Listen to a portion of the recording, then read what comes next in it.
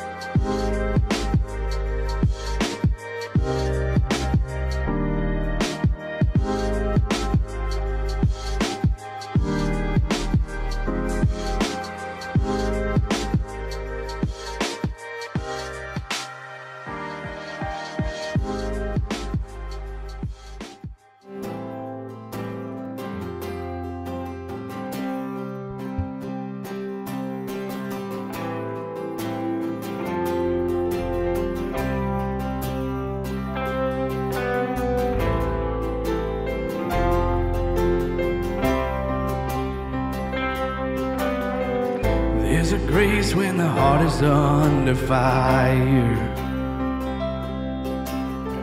Another way when the walls are closing in. And when I look at the space between where I used to be and this reckoning, I know I will never be alone.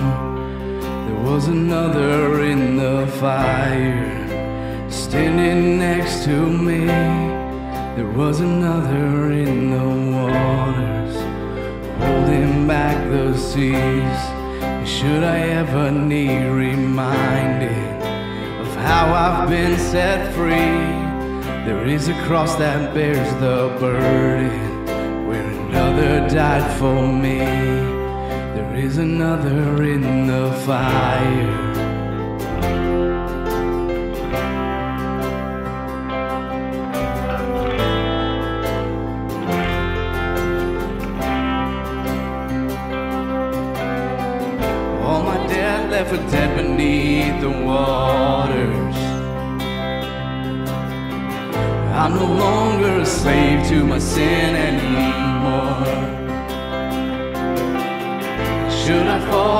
Space between what remains of me and this reckoning? Either way, I won't bow to the sins of this world. Cause I know,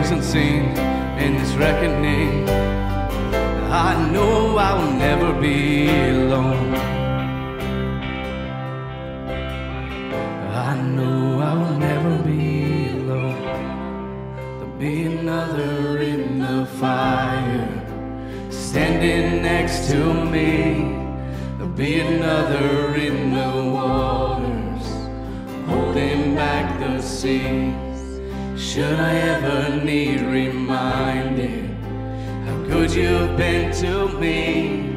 I count the joy come every battle, cause I know that's where you'll be. There'll be another in the fire.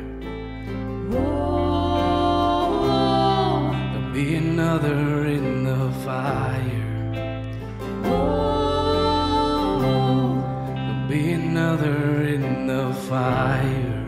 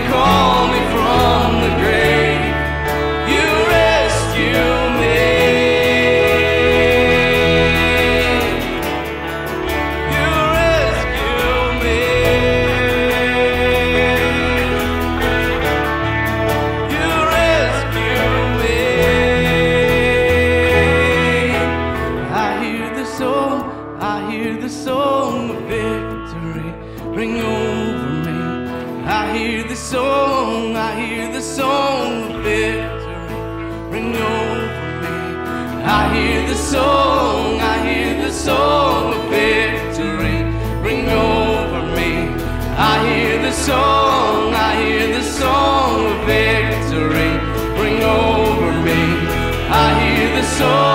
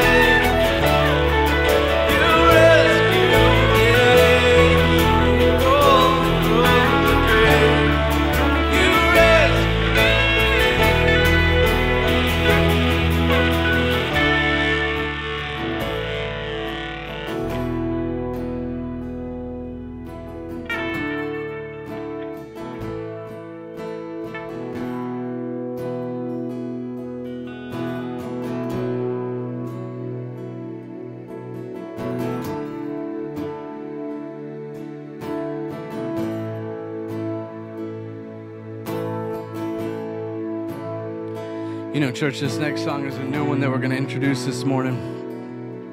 And I found even in my own life that a lot of times on Sunday mornings we come in here and we sing these songs, and the words are great and we feel something.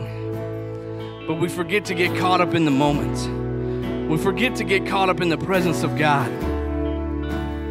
So this morning, this song is called Nothing Else. And it said that all we want is Jesus' presence. We want to get caught up in it because nothing else matters when we're caught up in the presence of God. Amen.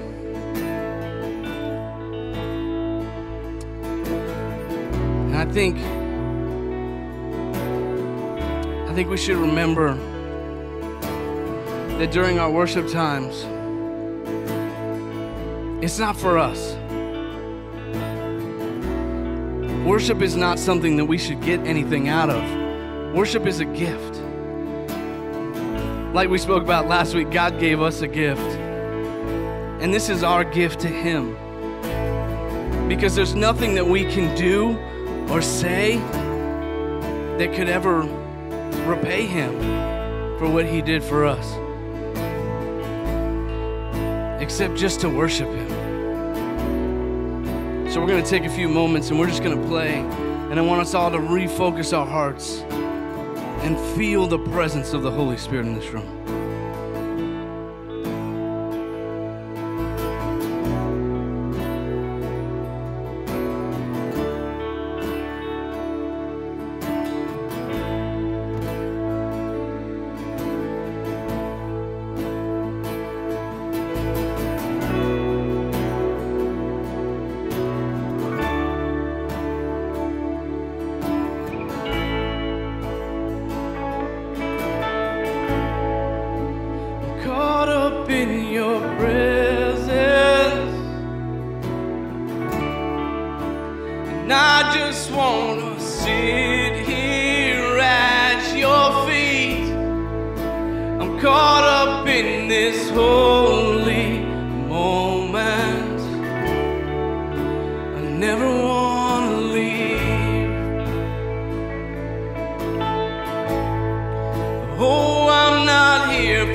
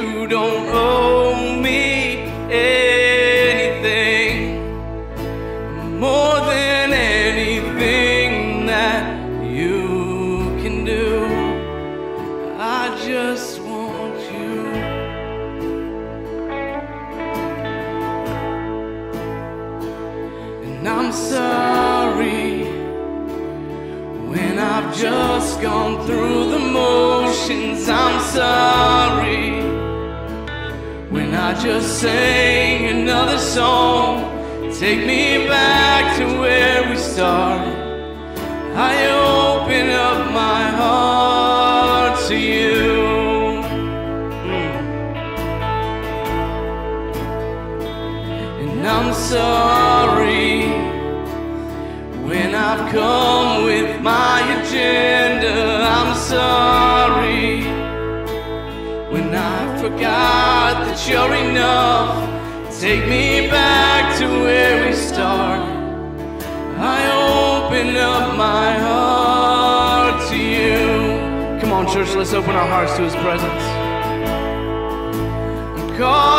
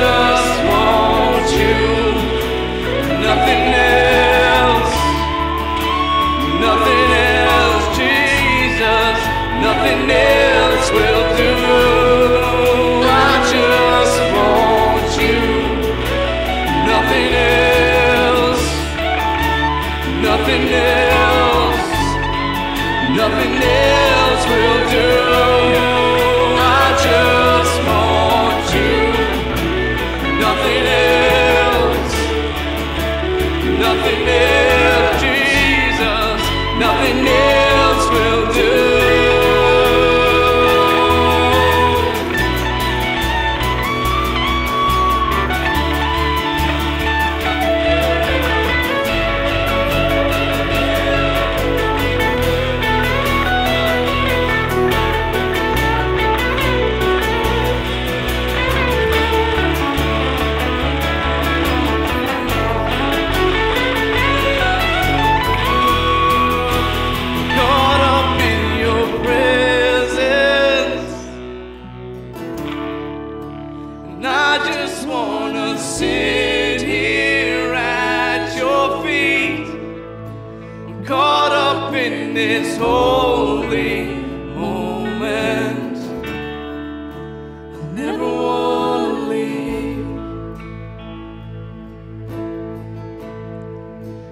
I'm not here for blessings.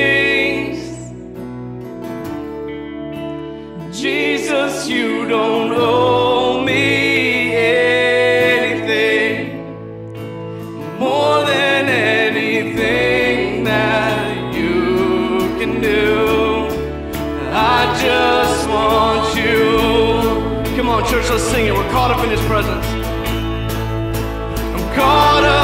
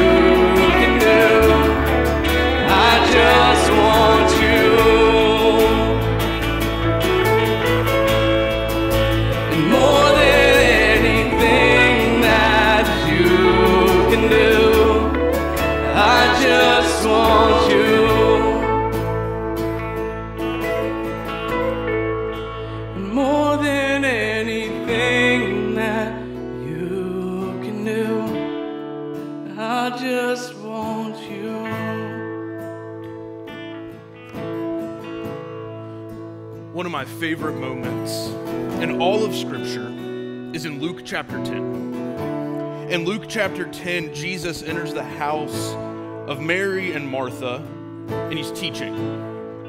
And while he's teaching, Martha is taking care of all of these tasks around the house that they would normally do for guests. She's worried, she's concerned about all these other things, and her sister Mary is sitting at the feet of Jesus listening, soaking it in, and Martha is frustrated. Martha pulls Jesus aside and is basically like, Can you talk some sense into my sister? Like, I'm here working my tail off, and she's just sitting there doing nothing. And Jesus' response is what makes this one of my favorite moments.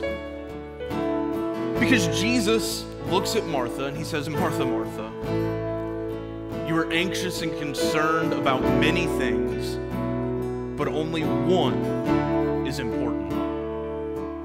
Only one. Your sister Mary has chosen the best over the better, and it will not be taken away from her. Mary's decision was to sit in the presence of Jesus, to ignore everything else going on around her and to sit at the feet of Jesus and to soak it in.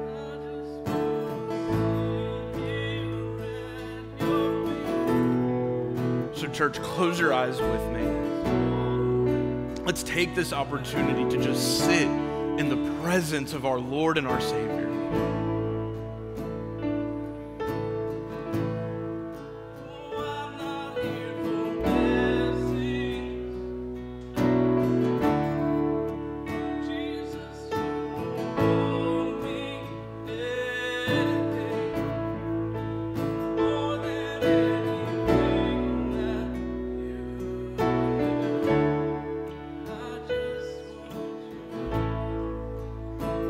Father, as we sit in your presence in this moment,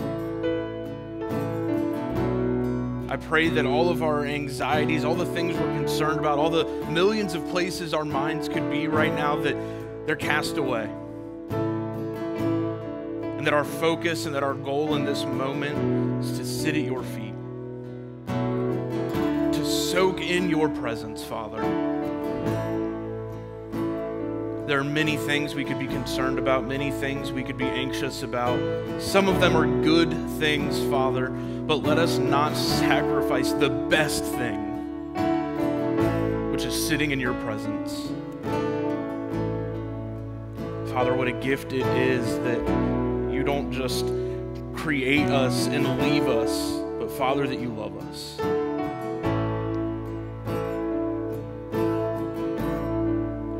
Sit in that.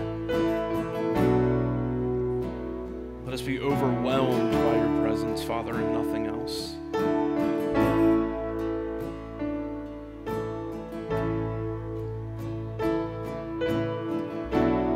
Father, we thank you. We love you. Bring us back to this place when things get too heavy. Bring us back to this place when things get too crazy. Help us recenter and to choose the best over everything else and to sit at your feet and to sit in your presence, Father. It is in your name we pray.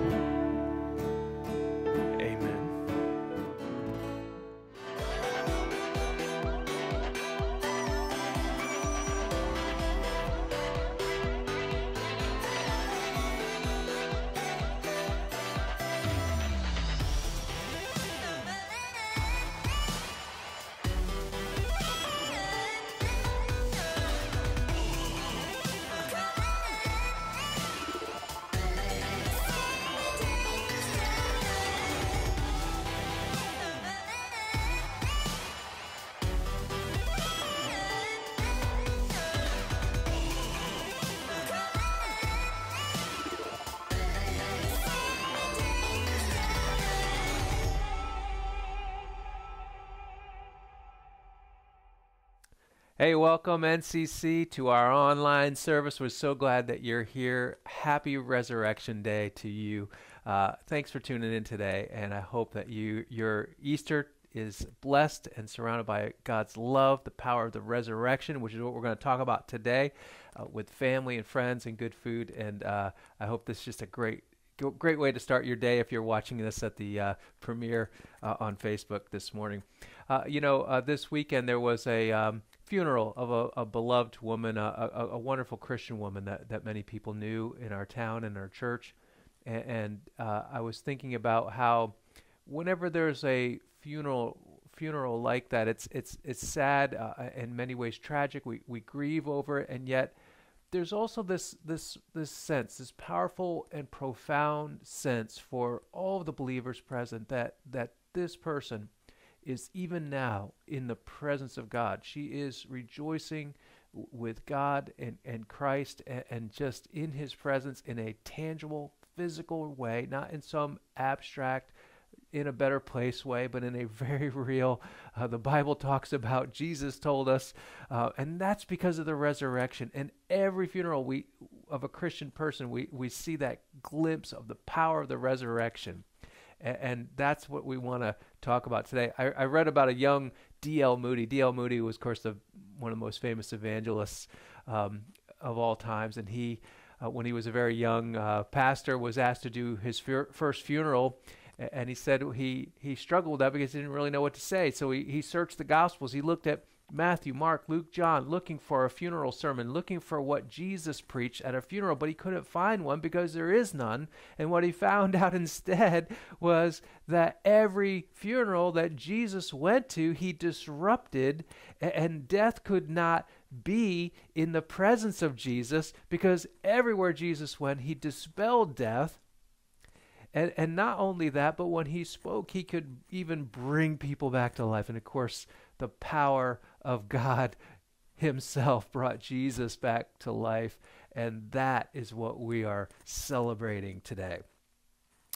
We're also in Ephesians uh, uh, series, and it's called Ephesians from Death to Life. We did part three, and we're doing part four today. This is the last entry into that Ephesians. So I, I, I went through that entire letter again and just pouring through it with eyes about the resurrection and how that weaves through that the power of the resurrection weaves through uh, the six chapters of the, of that book and and that's how I sort of put this uh, short message together today. And I also want to let you know since you're watching online that this is really part one of our Easter entries because uh, of course on Sunday morning we're doing live baptisms and that's a part of this message really. It's the display of this message. So we're going to put that in a part two for those of you watching at home. Uh, look for that second part of our Easter uh, message video on Monday or Tuesday of this week, and uh, we'll have the baptisms of course because we need to record them uh, live and, and get that out to you. So I'm really, really excited about that as well. But last week in our Ephesians series, we talked about Paul's prayer for the church, and his prayer was essentially this more power. He pulled a Tim the Toolman Taylor. He wanted more power. And we walked through that passage and, and how he prays in chapter 3 for the church to have this incredible inner power, especially to know the love of God through Jesus Christ. And he prays that prayer also in chapter 1. But here, he is tapping into an even bigger kind of power. Now, my example of God's power last week through the video was his creation. That's one very big way that the Bible talks about that he's powerful. And uh, but Paul doesn't go there. He actually goes to an even bigger power to give us an example to the church, and that is the power of the resurrection. And he goes further by saying this is the power, the same dunamis power, that raw, brutal, almost violent kind of power that we talked about last week. That's the dunamis power of God that we have in our lives once we become a Christian. So when you become a Christian, you accept Christ into your life. That means you become his follower you have your sins forgiven, you confess them to Him, and you start living for Him, then you identify in Christ. So let me read the text today. It's Ephesians 1 19 to 23. And this is the first time he talks about and prays for this resurrection power for all the church, and that includes you listening in here today. I also pray that you will understand the incredible greatness of God's power for us who believe him.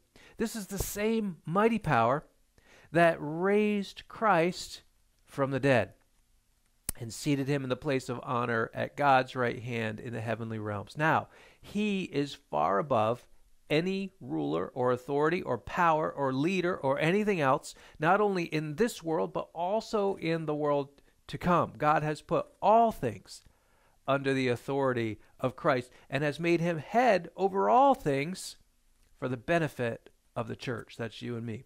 And the church is his body. It is made full and complete by Christ who fills all things everywhere with himself. Hallelujah. Amen. It's so great. This is his prayer for us. And he's asking God to give us a resurrection power that is practical and real and tangible in our lives right here on planet Earth, even before we receive our resurrected bodies in heaven to live with God forever. He is risen. He is risen indeed. Say it with me, even at home. He is risen. He is risen indeed. That is the good news here.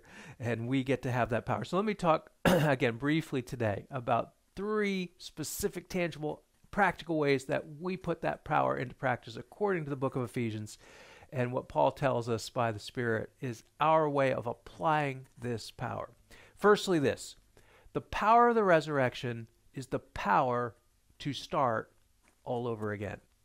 It's the power to start all over again. That is one of the primary things that the power of the resurrection of Jesus Christ on Easter does for the believer in our hearts. We see it in chapter 2, Ephesians 2 5 through 6, that even though we were dead because of our sins, all the things we've done wrong, our brokenness, our, our sinfulness, our rebellion, He, God, gave us life when He raised Christ from the dead, the power of the resurrection. For He raised us from the dead along with Christ and seated us with Him in the heavenly realms because we are united with Christ Jesus. If you have a paper Bible, underline united or on your phone app, highlight united.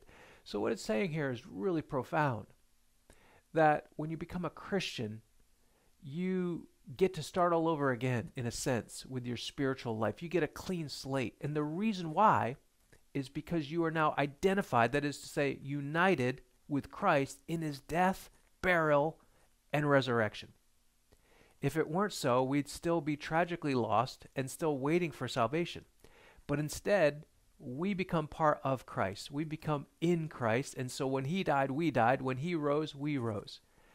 And that is what we're celebrating today. In fact, baptism is a real life example of this passage.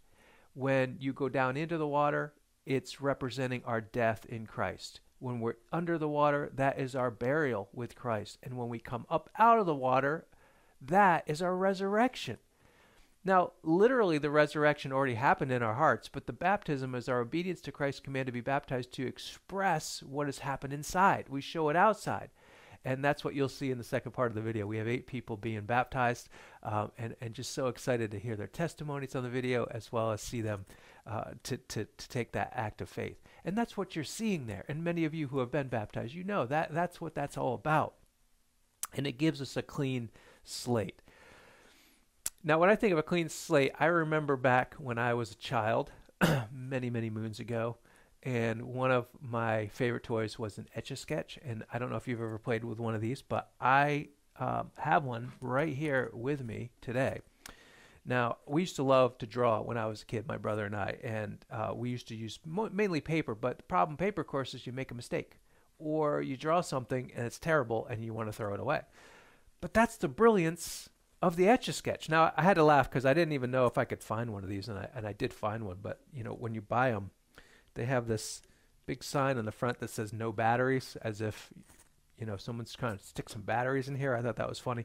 And on the back of the box, it said "No Wi-Fi needed." That was a big selling point apparently for the Etch a Sketch. No batteries, no Wi-Fi. You just get this little box, and you have fun, and it'll never run out of energy. But you can draw whatever you want on here or write words or whatever and it's it's just so much fun and use these little knobs if, if you've never used one you got to get yourself one and of course what's so great is when you make a mistake or when you're ready to start all over again you just flip this puppy upside down and you shake it and you can hear that, that satisfying noise. And when you shake it everything gets erased. It's just the picture's gone the mistake's gone. You get to start all over again. Don't you wish there was a button in life or an etch a sketch of life that you could do the same thing, God would just sort of, okay, flip me upside down and shake me up a little bit, and now I'm clean. And everything from the past is completely gone, and I get to start all over again drawing this picture. That's what resurrection does. It does exactly that. It, it gives us the power to start again. Eh, the old is gone, the new has come, everything in the past is gone. All of our sins are buried with Christ and we are resurrected to a new life. We get to start again. It, it's it's such an amazing truth. It's it's really one of the most profound things that we celebrate at Easter time, is is a new life in Christ to, to, to be able to start again. Now, secondly, and also important, the resurrection power, the real practical power that God gives us in our hearts, in our lives, every day, right here on earth, is the power to change our lives. Now, you may say, that's just what you just said. But no, it's not. It's actually com- really different because if all we got of the re- from the resurrection was an etch a sketch sort of you get to start all over, it wouldn't be enough because we're human and we're we're born into sin and we we have a proclivity towards sin the bible says and we already know that we we mess up so we need more than just a clean slate what the resurrection also does is it gives us the ability to change. We did not have that apart from Christ. But because he died and was buried and rose again, and because we are in him and have that same power in our hearts that we have died very in a very real sense and we're buried and we're risen again, we now raise up with a new spiritual power to change for the better, to become like Christ. And that's what the Bible teaches. Take a look at Ephesians 5, verse 8. Here, Paul uses the metaphor of light and darkness to talk about the change that can now occur in the heart of the believer. When he says, For once you were full of darkness. Not exactly a compliment for those um, in the church, but now you have light from the Lord. So live as people of the light. And this is a strong encouragement and really an, almost an admonition here saying look you, you have now received something from the power of the resurrection that you did not have before but now you are held responsible to live in the light. That means you can live a changed life. That not, doesn't mean you're going to be perfect. Doesn't mean you're not going to make mistakes. Doesn't mean you're not going to stumble and fall again. But now you're going to give the ability and the power to live in, in the light of the lord. And that is something you didn't have before. That's that's part of the resurrection power that we get. Did you ever go into a, a room that just was completely dark, and, you I mean you couldn't see one foot in front of you? Maybe your eyes weren't adjusted. Maybe the you know the shades were drawn. It was that night. You just couldn't see. Um, by the way, that's the, why the shin was invented, as we all know, to help us to find our furniture in the dark. Uh, you don't know where your coffee table is, but your shin does, and it'll find it for you. It's a great invention of God, is the shin. But Jesus died to actually break the darkness, the power of feeling lost and unable to find my way, and to bring an immediate sense of light.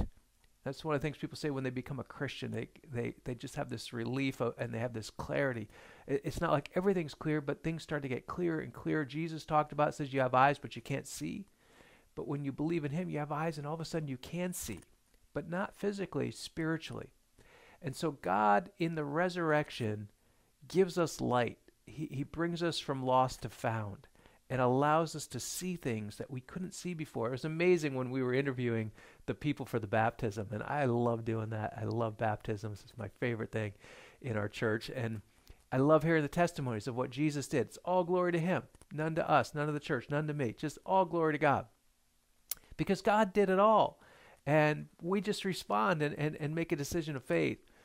But what was so great is you, you heard one after another. You heard some version of uh, I, I once was blind, but now I see.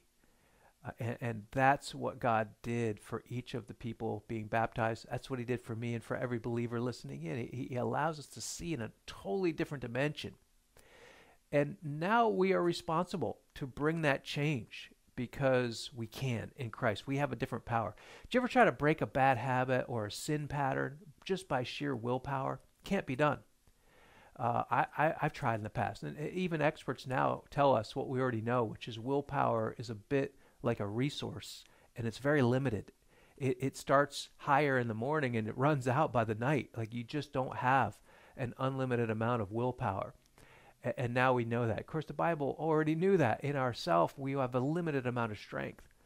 And you can't break a habit by sheer willpower what you need is an external unlimited source, namely Christ, who gives us the power, and the power comes directly from the resurrection. That is the time when he broke the bondage of sin and death. And he alone can give you that that today. And if you've never known that power, today is your day, Easter Sunday 2021, to put your faith in Christ. Uh, you, if you're watching this on online right now, you can pause and it'll pick right back up, and you can pray. And you can pray that Christ will enter your life. You can give Him all your sins. You can you can call out to Him, and He'll be right there quickly to answer your prayer and lead you into a life where you can become the person you want to become. And then number three, finally, the resurrection power of Jesus Christ also is the power for eternal life. Now, this is the one you might have already known about, and most people rejoice because this world is finite, and we know that our bodies are, are mortal. Um, we know that we don't live forever. Let me read Ephesians 2 5 again. It says that even though we were dead because of our sins, he gave us life when he raised Christ from the dead. So this verse is telling us that God gave us life, and that word life there is actually talking about a different life. Not only is it talking about that clean slate of the etch a sketch, but it's also talking about eternal life. This is the kind of life that when you receive it, you will live forever. So when we raise up from the spiritual death that we had because of our sins, we actually receive life. That's actually the point in time when we receive eternal life. It's not when we die. That's when we get to celebrate the eternal life because we'll be in the spirit in heaven and receive our uh, our resurrected bodies. But we actually receive eternal life upon our salvation, upon calling out to the name of the Lord. And so uh, we start eternity, in a sense, here on earth. Um, and so that that's really, really good news. Because the last time I checked, the current death rate is still at one per person. I didn't check it today. I, I, forgot to look at it, but I'm pretty sure today the death rate is still at one per person, meaning for every one person, there's going to be one death. And that is the tragedy of the broken condition. But in the resurrection, and when you receive Christ and you celebrate that in your heart, because you no longer have to die. You, your body will wear out and die, but your soul and your spirit will live forever, and you'll ultimately receive a resurrected body. So that is pretty awesome news. But I also believe this: before that, before that decision, before that act of faith, before crossing the line of faith, as we say, people will do just about anything to try to cheat death. Uh, we'll, we'll do about anything to try to prolong our lives or find a fountain of youth of some kind or, or just feel like we did, maybe through fitness or maybe it's through um, some kind of pill that we buy or maybe it's just uh, a facade. I, I read about a, a guy who uh, started a company selling tombstones that were basically TV screens put into the tombstone. They were virtual um, tombstones. And what he would do was he would put video of the loved one at, so when you visit, it was almost like they hadn't died. And not only that, but he would pre-record all kinds of things that, that the person said. And you could even have individualized messages for loved ones yet to be born, grand, great great grandchildren or whatever and put them all on this virtual tombstone. The tombstone went on. There were add-ons you could buy. You had a, you could buy a sensor for when the grass around it was too long.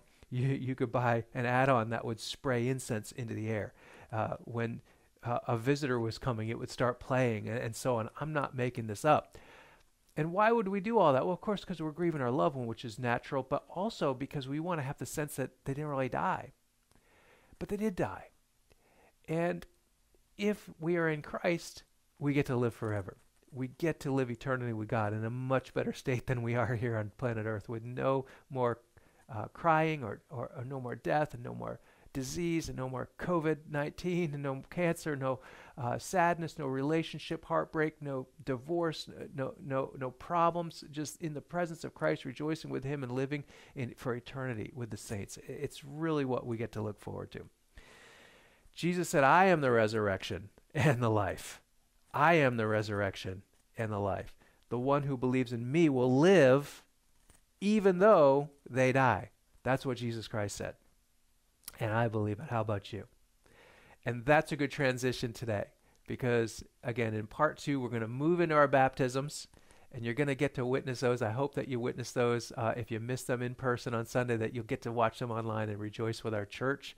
And you won't uh, regret that you did because the stories of faith and, and if you're just not there yet i think these will hopefully be very inspirational to you to, to see what uh, christ has done in the life uh, of many others. Uh, so with that in mind uh, let me pray to, to close our time together. Our heavenly father thank you for your rescue mission to earth when jesus came and suffered and died. He was abandoned by his friends. He, he was rejected by the people he was falsely accused and ultimately gave up his life willingly as a sacrifice for our sins on the cross. But not only that, uh, he was buried and he rose on the third day. Hallelujah. And we're so glad, glad, Lord, because if the resurrection didn't happen, I wouldn't be preaching today and there would be nothing to preach about. My life would be in shambles. I would not have any hope. No one would. And so we pray, Lord, give us that hope, the power of the resurrection that we just talked about from Ephesians, from your word. Uh, stir that up in the believers that are here. Help those who are yet to believe that they're just encouraged one step closer to take that act of faith, and that today would be the day that they trust in Jesus Christ. Protect all of the uh, eight people that are getting baptized at our church and help them to be protected uh, by your spirit from the evil one's attacks. And may they just know your closeness and may they be a testimony to, to many, many others. Uh, we pray all these things in Jesus' name. Amen. Hey, thank you, church. Uh, so glad again that you're online with us and stay in touch through our Facebook page. Uh, and if, if you want to uh, uh, tithe or give online, that's very easy to do. Just go to my new, or newcommunity.church forward slash uh, giving. Uh, and also, I want to let you know that next week we have a brand new series starting. It's called Truth to Power. I think you're really going to enjoy it. We're going to dig into the, the, the, book of Esther, which is such a great story. Uh, we're going to talk about how this amazing woman uh, did mighty acts and spoke truth to power it, it, for for God in, in a very direct way. So you'll be inspired by that, and, and hopefully that'll be helpful in your spiritual journey. So jo- join us next week, whether you can do that live or or, or uh, and in person, or whether on the video. Have a great Easter Sunday.